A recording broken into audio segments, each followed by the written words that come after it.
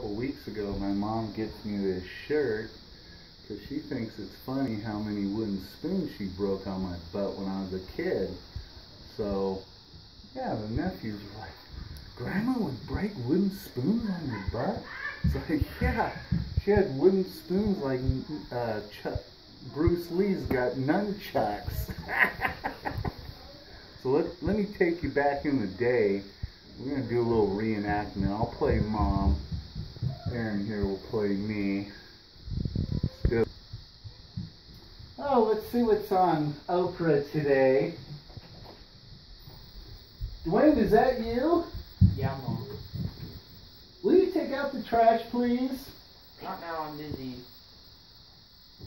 I asked you already twice to take out the trash. Don't make me say it three times, I get angry. I'm busy right now, Mom. What's that? I'm busy. Dale! He's sassing me again! Come on. Get the wooden spoons! Get, No, the, Mom. get over here! Mom. Get over here! Oh! I'm still up. No! Oh! I told you to quit sassing me! Oh! oh, oh.